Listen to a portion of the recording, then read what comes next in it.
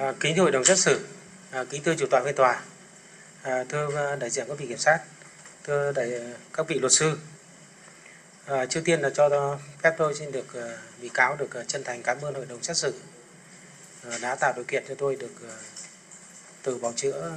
giải trình trước à, phiên tòa. Và cũng à, xin chân thành cảm ơn đại diện các à, vị à, vị kiểm sát. Trong quá trình luận tội thì cái bản luận tội thì cũng đã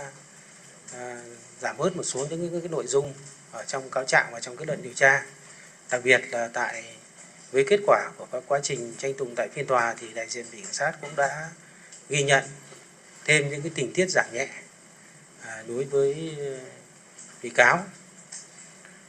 À, vấn đề thứ hai là qua quá trình ngồi tại phiên tòa thì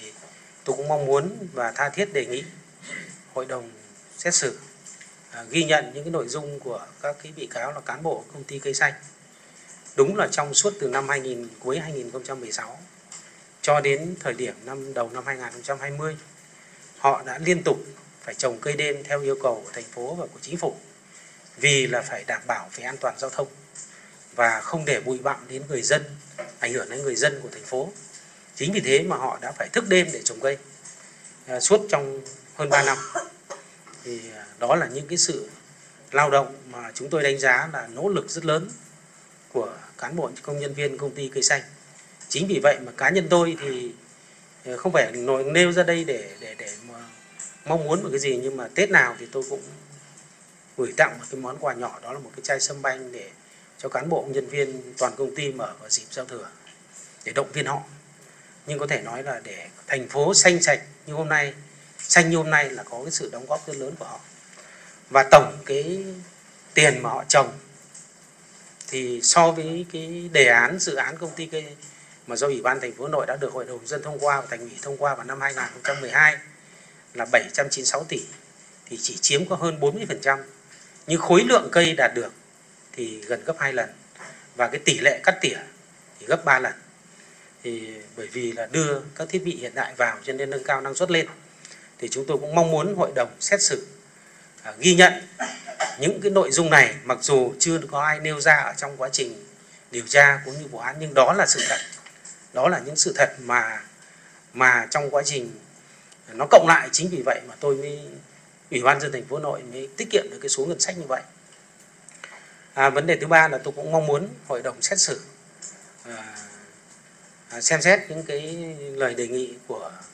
À, các bị cáo nói chung và đặc biệt là các bị cáo là cán bộ, công nhân viên của công ty cây xanh để có cái hình thức à, giảm nhẹ, xem xét giảm nhẹ nhất à, đối với họ, cho họ được hưởng cái tinh thần nội dung nghị quyết 03 của hội đồng thẩm phán toàn tối cao là áp dụng những cái tình tiết để cho họ cũng đã khắc phục. Các cái, toàn bộ họ có thể được hưởng những cái nghị quyết này để được hưởng cái mức án thấp nhất à, đối với tôi thì tôi cũng mong muốn hội đồng xét xử à, ghi nhận những cái gì những cái quá trình tôi đã làm việc. À, thực ra cá nhân tôi cũng rất là băn khoăn và rất là suy nghĩ rất nhiều. Một cái chương trình đáng lẽ rất là tốt rất là đẹp nhưng mà cuối cùng đúng là một cái kết à, để có cái phiên tòa này là hoàn toàn tôi không mong muốn. Và bản thân cá nhân tôi cũng ngoài cái sức uh, suy nghĩ cũng như là cái sự quản lý của mình. Thế và tôi khẳng định lại một lần nữa là tôi luôn luôn nhận trách nhiệm của mình với cương vị là chủ tịch ủy ban thành phố về toàn bộ các hoạt động của thành phố trong đó có chương trình cây xanh. Thế và tôi mong muốn hội đồng xét xử uh, uh, xem xét uh, những cái nội dung về những tình tiết giảm nhẹ mà luật sư và cũng như tôi đề nghị và xem xét những cái yếu tố về bệnh tật. Đặc biệt tôi thì trong quá trình giam giữ thì bố vợ cũng mất. Thế và à, hiện nay thì bố đẻ tôi cũng trong tình trạng cũng rất là nguy kịch. Và cũng không có hy vọng gì mà có thể về để, để sau này có chẳng may mà ông mất thì không có điều kiện gì mà có thể làm tròn chính nghĩa vụ trách nhiệm làm con được. Nhưng mà tôi cũng mong muốn hội đồng xét xử xem xét cho tôi được hưởng cái hình phạt